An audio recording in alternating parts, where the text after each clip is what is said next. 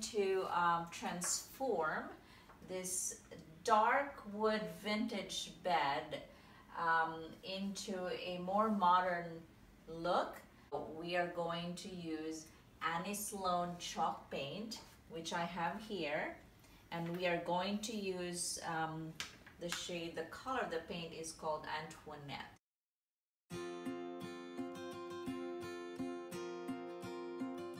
It's this beautiful blush pink color. And then we are going to finish it off with this clear wax, okay? And here are the different brushes that you can use. In fact, really there's no perfect choice. Whatever brush you have on hand, you are able to use. Um, it will work just fine. This is actually the brush that Annie Sloan recommends that you use because it can go into the inside and kind of easily really get into those crevices. But I also found that if you use just this tapered one, it can also do the same job for much less price. Okay, it's so easy to use. Chalk paint is kind of the in thing right now. There's also milk paint, but um, my experience is that this paint is one of the best out there. You cannot find this unfortunately at Home Depot or Lowe's, so you will have to find this, um, find a distributor in your local um, area.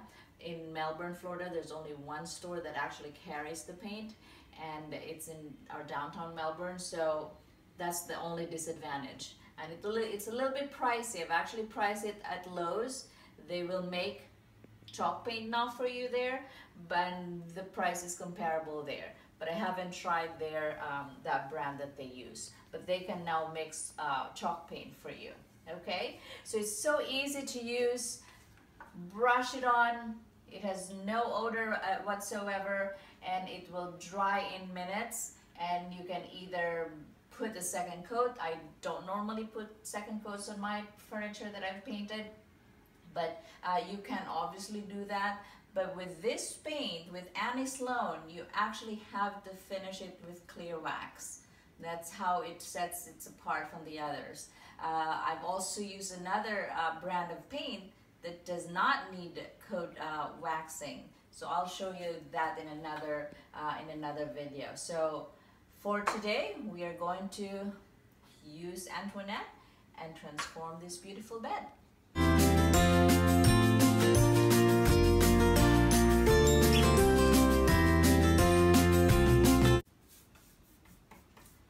You can see, look how thick it is already. Covers the dark wood almost instantly, so there's really no need to, to do a second coat. So like I said, um, if but if you wish to do so, you are welcome to it. And you don't have to also be especially careful on how you actually paint it because it will dry almost just, it's so miraculous. It will dry smoothly. Has already dried up, okay? and uh, so all we need to do is just distress a little bit and then you can either do the waxing before you distress. Today what I'm gonna do is actually do the distressing first then I will wax. Uh, so I'm using this P103M Pro Grade Precision uh, abrasive. So um, I found that if you use like the 200 it's um, not as coarse and then what happens is you're actually not um, distressing what you really want if that makes sense. Um, it kind of distresses here which I don't like I just want to do the the corners or the edges so that's why I'm using a much coarser. This one uh, distresses it so much quicker okay so so I'm gonna use this one and you can go as hard or as soft um, as you want. So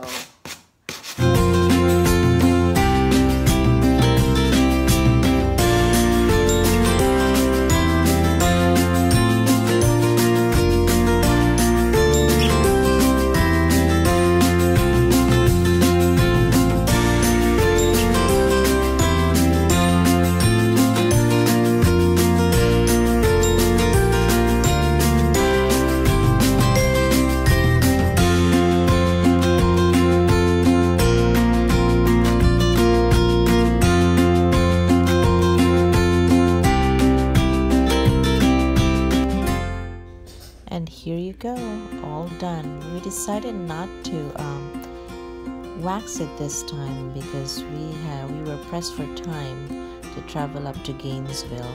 So um, this bed is all done, uh, ready to deliver to our daughter up in Gainesville. But as I said, uh, uh, we did not have time enough to to wax it, but it's all done. I hope you enjoyed. Thank you.